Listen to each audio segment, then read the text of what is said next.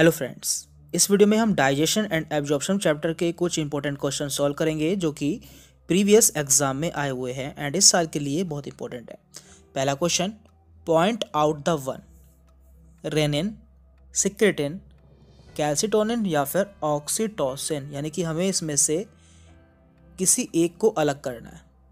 तो इसका right answer होगा वन रेनिन क्योंकि रेनिन एक एंजाइम है, जबकि कैल्सिटोनिन सिक्रेटिन एंड ऑक्सीटोसिन, ये तीनों हार्मोन है।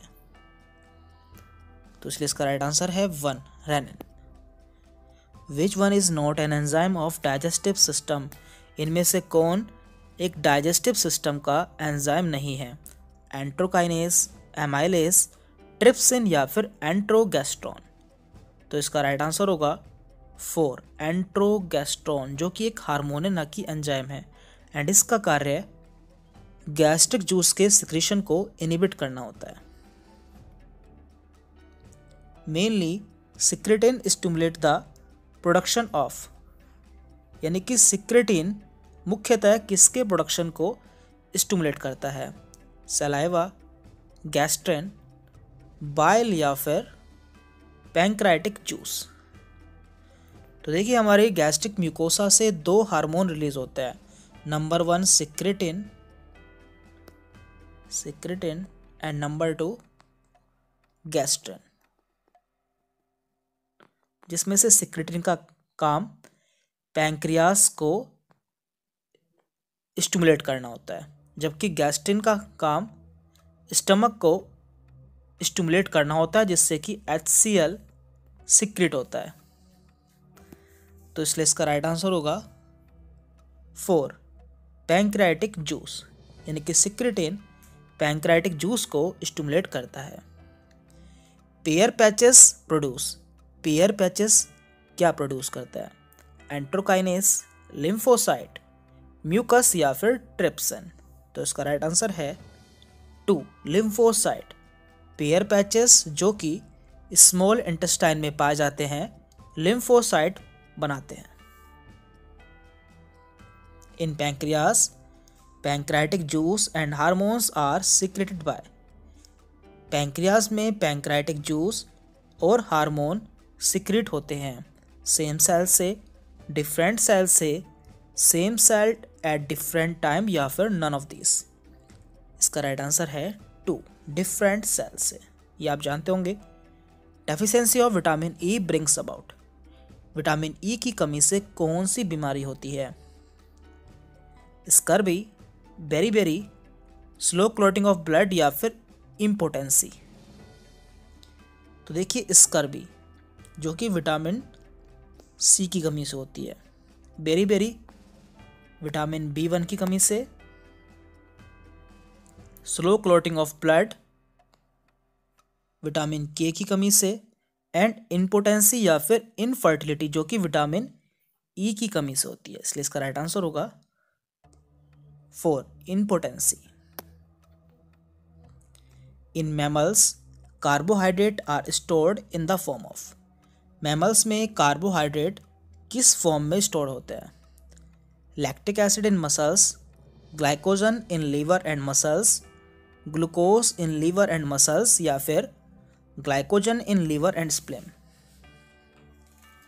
इसका राइट आंसर है two glycogen in liver and muscle यानी कि मैमल्स में कार्बोहाइड्रेट ग्लाइकोल ग्लाइकोजन के रूप में लीवर एंड मसल्स में स्टोर होते हैं।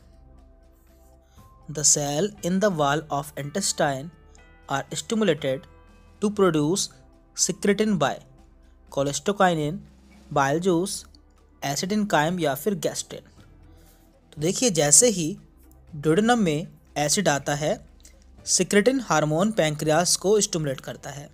इसलिए इसका राइट आंसर होगा three acid in chyme bile is formed in bile कहाँ बनता है? गाल ब्लेडर लीवर स्प्लेन या फिर ब्लड इसका सही आंसर है टू लीवर बाइल का फॉर्मेशन लीवर में होता है एंड बाद में ये गाल ब्लेडर में स्टोर हो जाता है। Cholecystokinin is secretion of cholecystokinin कहाँ से सीक्रेट होता है?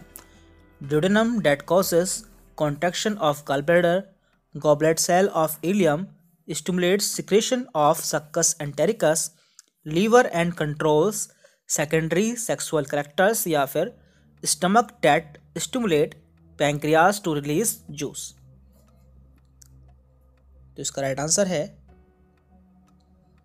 one duodenum that causes contraction of gall bladder तो देखिए ड्यूडिनल मिकोसा से ड्यूडिनल म्यूकोसा से दो हार्मोन सिक्रिट होते हैं। पहला है कोलेस्टोकाइनिन एंड सेकंड है एंट्रोगेस्ट्रॉन जिसमें से कोलेस्टोकाइनिन गाल ब्लेडर को कॉन्ट्रैक्ट करता है, जिससे कि बाइल रिलीज़ होता है। जबकि एंट्रोगेस्ट्रॉन गैस्ट्रिक जूस के सिक्रेशन को इनिबिट करता है। Enzyme trypsinogen is change to trypsin by enzyme trypsinogen trypsin में किसके द्वारा चेंज होता है? या इसे कौन चेंज करता है? गैस्ट्रेन, एंट्रोगेस्ट्रॉन, एंट्रोकाइनेज या फिर सिक्रेटेन? इसका सही आंसर है थ्री एंट्रोकाइनेस ट्रिप्सिनोजन को ट्रिप्सिन में कन्वर्ट कर देता है जो कि इसकी एक्टिव फॉर्म होती है। Castle intrinsic factor is connected with internal absorption of pyridoxine riboflavin thiamine या फिर कोबालामिन इसका राइट आंसर है four cobalamin aminopeptidase, a digestive enzyme produces dipeptidase, smaller peptidase, peptones या फिर एमाइनो एसिड इसका सही आंसर है two smaller peptidase highest BMR occurs in यानी कि इनमें से सबसे ज़्यादा बेसल मेटाबॉलिक रेट किसका है?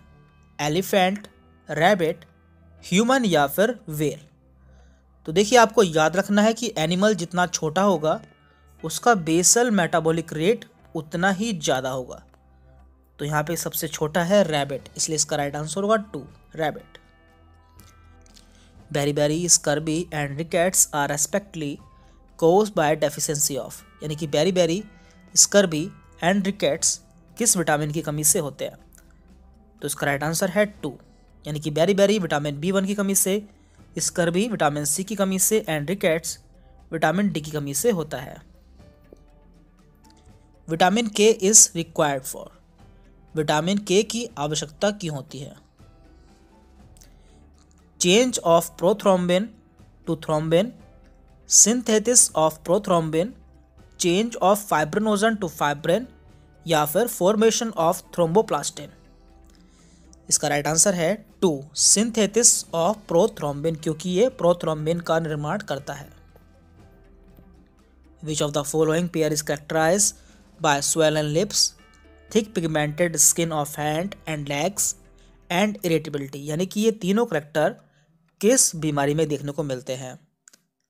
इसका राइट आंसर है थ्री निकोटिनमाइड पेलेग्रा तो इसे विटामिन बी थ्री भी कहते हैं और इसकी कमी से पेलेग्रा होता है, जिसमें कि ये करेक्टर देखने को मिलते हैं। Maximum number of enzymes occur in, यानी कि सबसे ज़्यादा मात्रा में एंजाइम किसमें पाए जाते हैं? ओमनीवोरस, हर्बीवोरस, कॉर्निवोरस या फिर नन ऑफ़ द अवब इसका राइट आंसर है वन ओमनीवोर्स। ओमनीवोर्स में सबसे ज़्यादा मात्रा में एंजाइम्स पाए जाते हैं। Excessive intake of alcohol causes ज़्यादा मात्रा में एल्कोहल लेने से क्या हो सकता है? जॉन्डिस डर्मेटाइटिस लीवर सिरोसिस या फिर लंग फाइब्रोसिस इसका राइट आंसर है three liver cirrhosis inhibition of gastric and stimulation of gastric pancreatic and bile secretion are controlled by